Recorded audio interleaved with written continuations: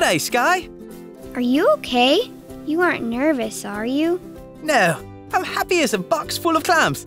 I can't wait for the schoolies to get here so I can share what I learned in school. What are you going to talk about?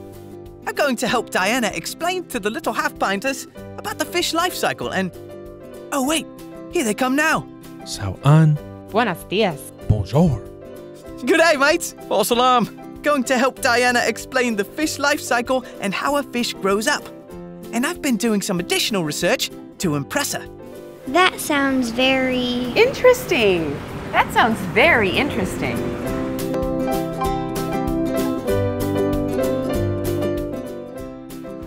Fin, we're ready for your presentation. Yes, oh, great. Let's give it a go. Every fish begins as an egg. Don't they call that caviar? Uh, no, not in this presentation.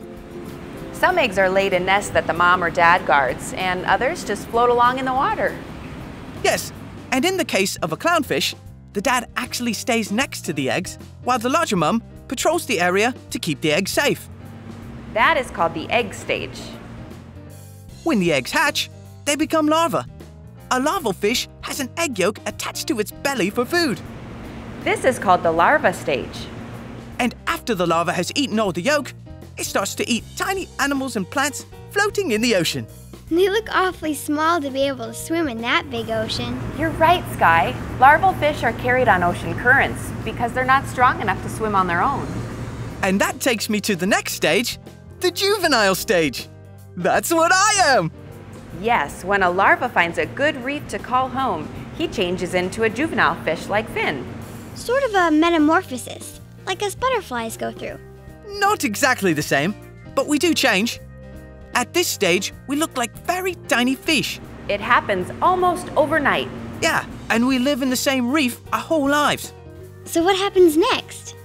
When I get full ground, I'll find me a nice mate and we'll start the cycle all over again. That's right.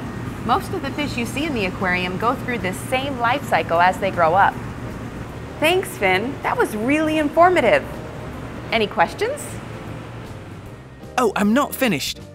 We haven't talked about seahorses yet. First, a bloke seahorse and Sheila seahorse meet. Oh, excuse me. That's what we call men and ladies where I'm from.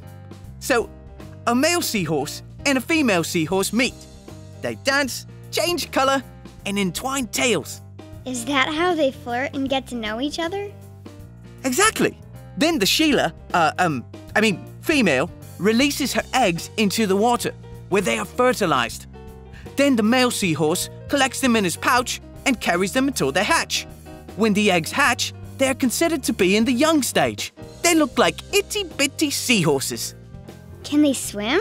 Yes, but not very well.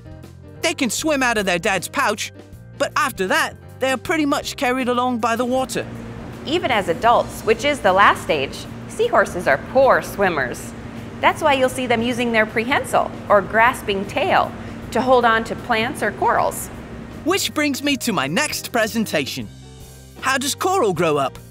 As you can see, the coral life cycle is similar in that you have an egg stage where the fertilized eggs float through the water until the larvae emerge.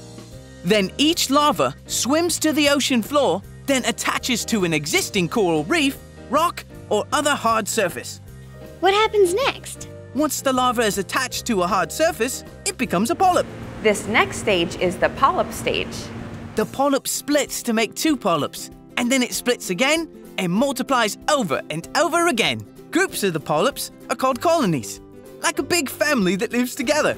So, when you see a piece of coral, you are looking at a colony of polyps. The ocean is a fascinating place. Fin, do you know about how sharks and stingrays grow up?